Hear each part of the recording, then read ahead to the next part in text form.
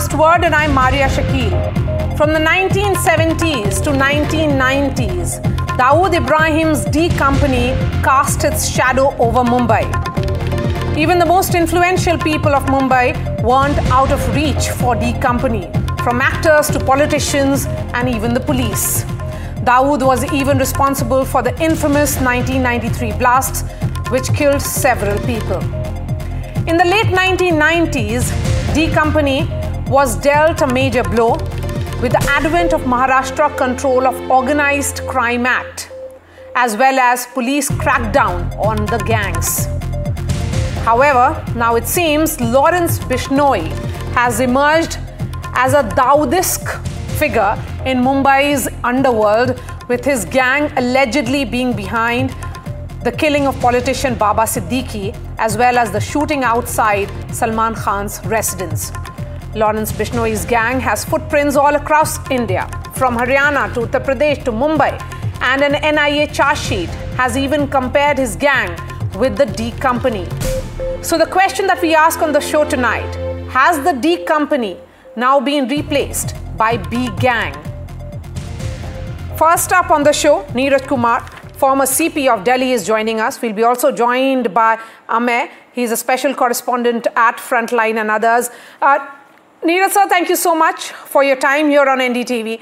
Uh, you know, you have written a very interesting book, and uh, that book certainly gives us a sense of how you have understood the realities of Dawood Ibrahim and, uh, and, and how he functioned, dial D for Don. Uh, when you look at the developments in Mumbai, the murder of Baba Siddique, what comes to your mind?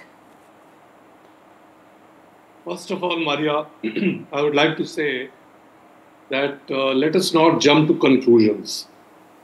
Right now, only the foot soldiers have been apprehended.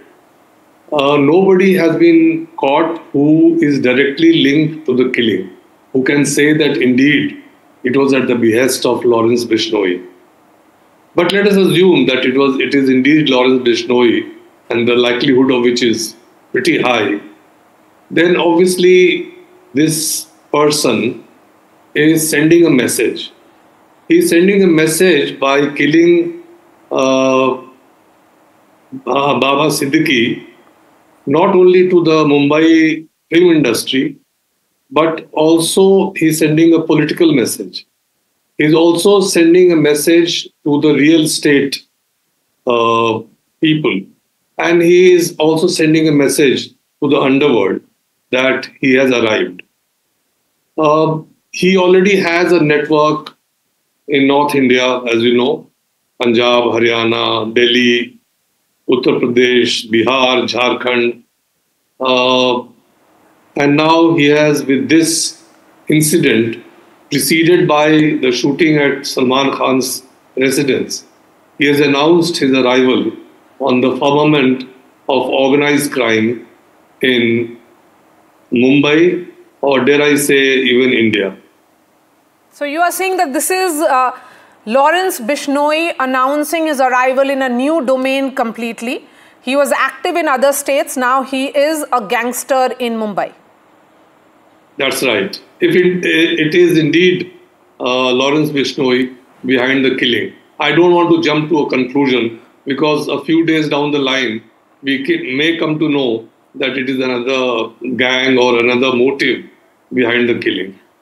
Okay, okay, uh, uh, but Neil sir, I want to understand. Baba uh, Siddique's death certainly is a reminder of what was a grim pattern in Mumbai.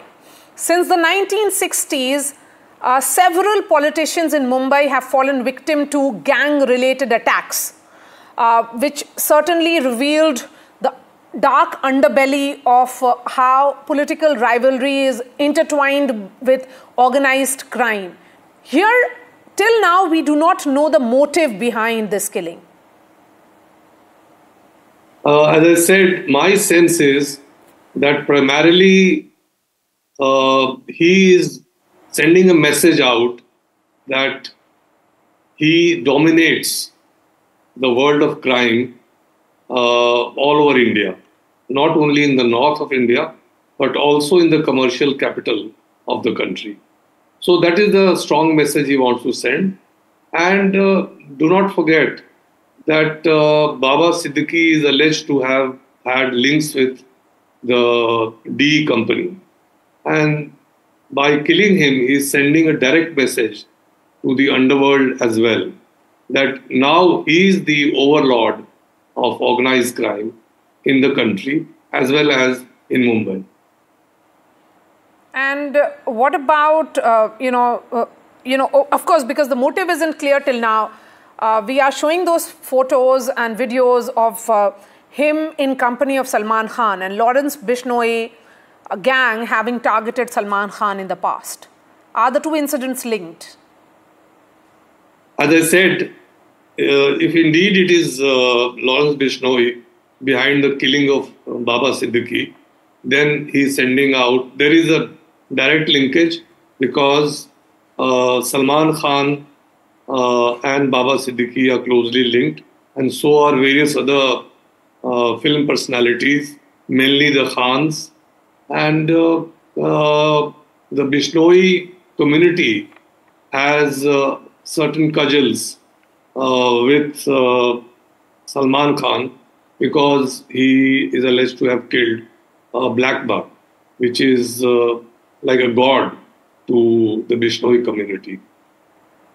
All right, Neeraj Kumar, I appreciate your time here joining me on top of the last word. We are being joined by Yashovardhan Azad, former IPS officer. Ujjwal Nikam is a senior advocate. And uh, we have uh, Mr. Singh, who is the author of Who Killed Moosewala. And my friend Amey is also joining us as well. Amey, coming to you first. The Bandra West seat, which uh, Baba Siddique represented for three terms from 1999 to 2014, has seen its fair share of politicians fall victim to underworld violence. In your article today that you have published, you have talked about some kind of real estate angle as well. What exactly is it? See, there are two, three theories right now being circulated in Mumbai or Maharashtra about the killing of Baba Siddique. First is well known that Bishnoi gang is behind it. As Neeraj Kumar said, if indeed we, we are believing this theory, then all the other things started rolling. Hmm. Second theory is, and this is, this is very favorite theory of people, people largely believe it very easily that some kind of real estate fraud was there, some kind of real estate battle conflict was there, and Baba is killed by these people. But if we are believing this second theory, then it means it has nothing to do with uh, with this Lawrence Bishnoi and Salman Khan angle. So we need to understand this. So that's why we need to wait for what exactly is going to happen, what investigation agencies are going to find. Third is Baba Siddique is, is no, not a small person. We need to understand if really it is a real estate killing, then this is the first killing in last 20 years, 22 years, the big big person killing in real estate matters. Okay, so before 2000, in 1990s, there were many killings contract killings in real estate sector. But since 2000, 2004, 2005, these kind of blood battles have stopped in Mumbai's real estate sector. People settle their issues in different ways. They go in court, they get settlements out of court, they get some big people, big politicians involved, interfere in the issues and settle the matters. Hmm. So, for the first time in last 20 years, such a big person someone who is having a big aura or connect or influence in the real estate market is killed. So if we are believing this theory, second theory that real estate is okay. is the reason behind Baba's killing, then this is going to be a new start of lot in- battles, conflicts in Mumbai's real estate and as well as Mumbai's political scene. Okay, okay. Ujjwal Nikam, come in on this. You know, there are multiple theories. We do not know what is the real motive yet that is yet to come out. Based on what we know, what can you tell us, sir? Marya, frankly speaking, I heard your crime reporter as well as Mr. Neeraj Kumar also very carefully. I have conducted a number of cases wherein the deep criminal conspiracy was hatched, like Gulshan Kumar murder case, which I have conducted, 93 Bombay bomb blast, yes. and Ajmal Kasab case. Now, it would be too premature at this junction to say and comment as to how Baba Siddique was killed, why he was killed, who was the person behind the entire criminal conspiracy, what was their objective. Normally, it is my experience after conducting so many high profile criminal cases in the Maharashtra, in such type of deep rooted criminal conspiracy, there are three circles working behind it. So far as the first circle is concerned, the actually person being employed who actually carried out and subject to the target. The second circle that consists of such people who provide the logistic support to the first people who actually have been executing the objective of the criminal conspiracy. And last, that is the circle, is of the conspirators. Now, this conspirator always remains in secrecy. Hmm. And uh, there is a very seldom to have any evidence on the direct criminal conspiracy. In Gulshan Kumar murder case, similar things had happened. Shooters were employed.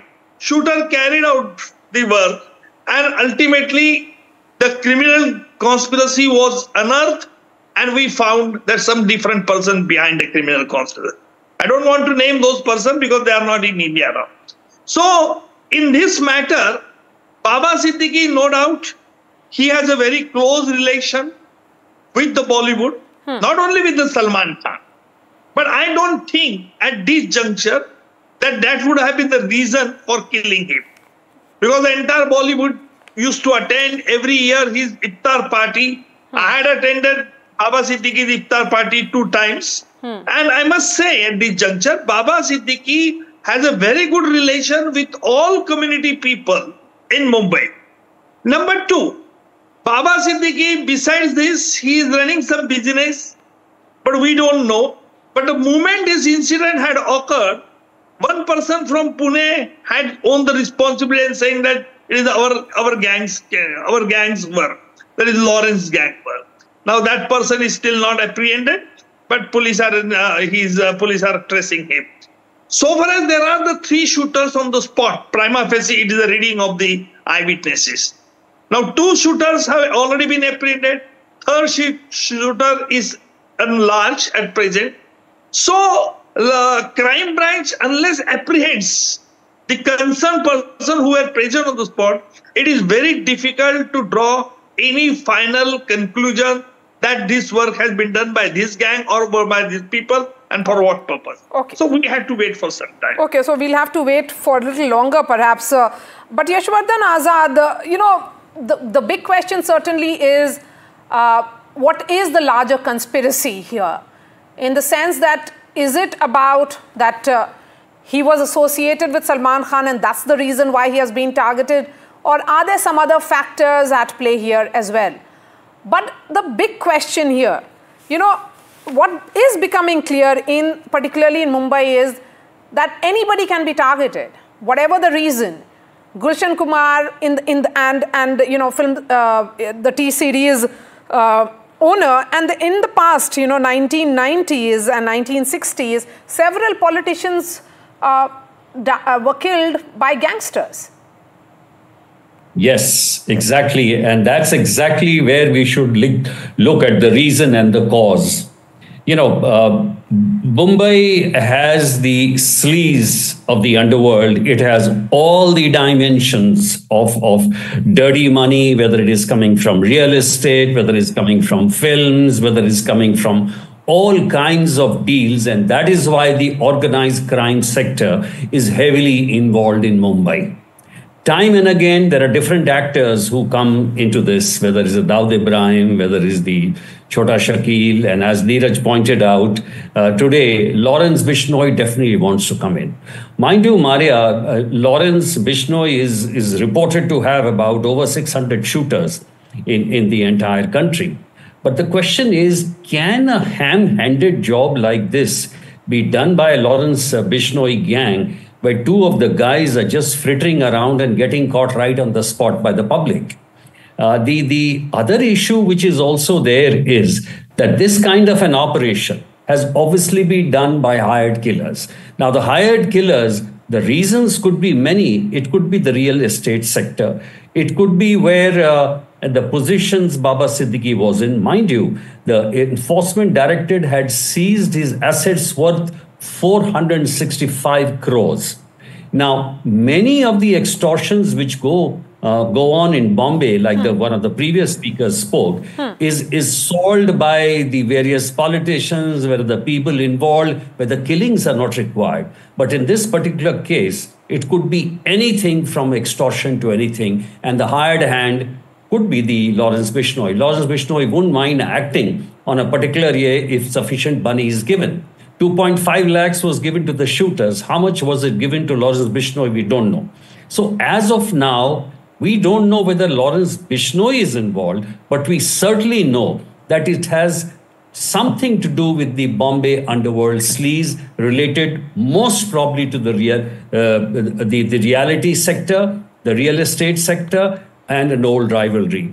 To say that he has been killed only because of links with Salman, I find it a little difficult to believe. Because if that is the kind of strong message which had to be delivered to Salman, it should have been somebody closer, a relative who are relatively unexposed. So, as of now, there are two issues here which I think one is the complete failure of the uh, of Mumbai police. Yes.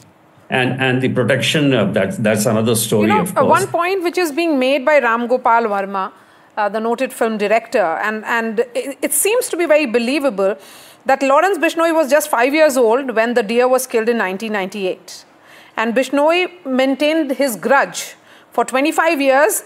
And now, at the age of 30, he says that his life goal is to kill Salman to take revenge. No, you know, I don't think you know any any proper gangster would risk his life for a cause as small as these. Most of the gang gangsters are very, very secular in their approach. And also, above all these, you know, uh, kind of passions, you will see Dawood had some of the best Hindu shooters and some of the best Hindu mafia had had Muslim here. So they are above all these. I don't believe in all this. That's why I think the reason has to be something very, very different. Yes. Yeah, so the reason could be something very different. But, uh, uh, you know, Jupinderjit uh, Singh, we keep on thinking about what exactly is the reason while we are seeing the arrival of a new gang, uh, the, the, the person running this gang is in Sabarmati jail and he has his henchmen in several states and they are ca carrying out his orders. Lawrence Bishnoi, sudden rise and rise and rise.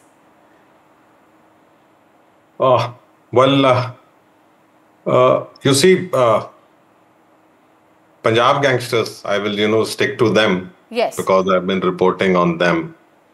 They, uh, you know, don't commit crime for money much. They go for name. Hmm. Oh.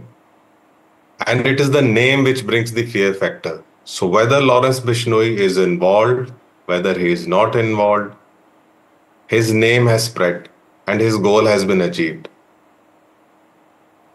Okay. So that is that is one issue here. Second is that uh, Lawrence Bishnoi's rise has been happening for about six seven years. Hmm. Before that, this is uh, not known to many people. There were gangsters like Dimpy Chandbhan, Sherang Khupan, Jaipal. So Lawrence was often spotted bringing pistas and almonds and you know other dry fruits to Sherang Khubba in a Panchkula court. So that was his steps to gangsterism. And why did why did he become gangster? He came from a village where he owns 110 acres of land. So all his life, all his student politics, I'm going to cut it to very brief, has been to show that I am something. This is something which you will find in most of the Punjab gangsters. They are not short of money. They just have this very misconceived idea of fame or identity crisis. And he and others, they just want to make a name by indulging in crime. Lawrence Bishnoi is trying to, as, as the, this is as per the experts here, hmm. the media experts who have been reporting on him and the police. he is trying to cash on the vacuum in the underworld in Mumbai. That is why he has been targeting Salman Khan for two, three years. True, he was five years old uh, when the Black Buck incident happened, but the Bishnoi community, which is a pure vegetarian community, and they don't believe in killing even a small insect. Hmm. You know, there have been instances where they carry on uh, revenge for generations. That's what we have been covering here, right? So if he is into that, and he openly proclaims that, I think uh, Lawrence Bishnoi's target is to enter Mumbai because uh, so far he is in total control in North India. He has formed a syndicate with the Kala Jathedi gang. His biggest rival is Bambiha gang, which is uh, you know trying to catch up with him. Uh, both of both these gangs have sports hmm. a proper sport in pakistan as well as as well as in canada. Uh, so i i would be very happy if lawrence bishnoi is not involved in this crime or any other crime. The biggest question here is how is lawrence bishnoi allowed to become strong yes and, and while he is in jail He's serving Which, a no gangster. You see, uh, the first lesson a crime reporter learns is that the SHO can prevent crime, or he is, you know, privy, or he knows who commits crime in his beat, hmm. in his police station area. Hmm. So here is a guy, Lawrence Bishnoi. He is giving interviews from police custody.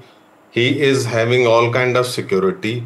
He is moving from jails to jails. There are n number of real and fake cases felicitating his transfer from you know Punjab jails to Rajasthan to Haryana to Delhi to to Gujarat wherever but the biggest question which which you know which haunts me is that no gangster can progress so fast like Lawrence Bishnoi without the support of someone big in power, someone okay. who has so, the okay, power. so thank you so much for sharing your thoughts. Ujjwal Nikam, I just enough time for you, sir. Uh, given the manner in which the entire investigation is, uh, you know, going, do you think we'll know the truth ever? The conspiracy. What is your question? Will we know the truth? Who killed Baba Siddique and why was he killed? The motive. Yes, certain, yes, certainly. It's a Mumbai crime branch is investigating the crime, and uh, the the investigating officer is a very seasoned officer uh, who has a back record. His track record is very nice, and I'm conducting his some cases in Mumbai also. So I'm very optimist that uh, crime branch of Mumbai police will definitely crack the scent. All uh, right. Incident. Thank you so much for joining Thank us, Yashwardhan Azad, Ame, Ujjwal Nikam, and uh, Mr. Singh for sharing that insight as, as a crime reporter. That's all from me. I'll be putting this uh, story on ndtv.com. Thanks so much for watching.